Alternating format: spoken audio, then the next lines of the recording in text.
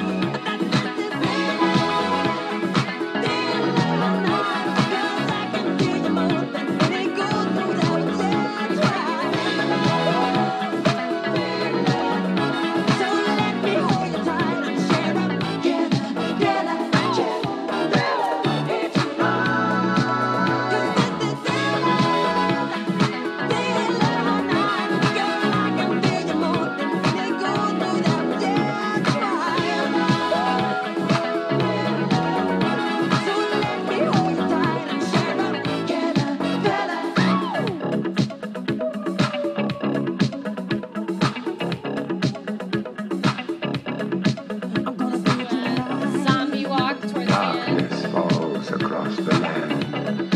The midnight hour is close at hand. Creatures crawl in search of blood to terrorize your neighborhood. And whosoever shall be found without the soul for getting down must stand and face the hounds of hell and rot inside a corpse's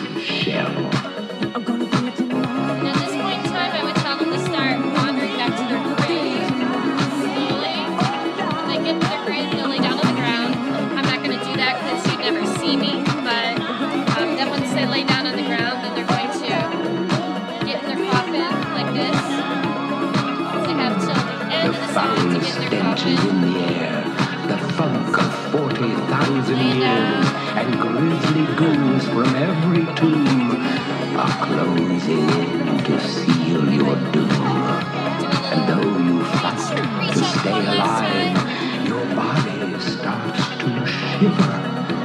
For no mere mortal can resist the evil of the thriller.